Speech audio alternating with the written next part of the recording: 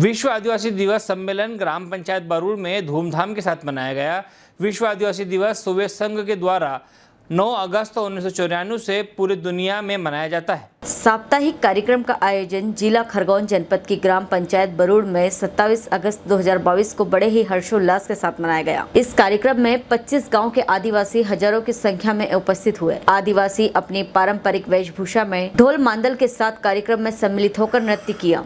आदिवासी समुदाय के अधिकारों व अपनी संस्कृति, जल, जंगल, ज़मीन पर विचार व्यक्त किए। इस कार्यक्रम में कार्यकर्ता व मानव अधिकार सुरक्षा संघ की उपस्थिति के साथ ही कार्यक्रम में सभी के लिए स्वल्पाहार की भी व्यवस्था रखी गई। बरूड़ से रामेश्वर कुमरावत की रिपोर्ट।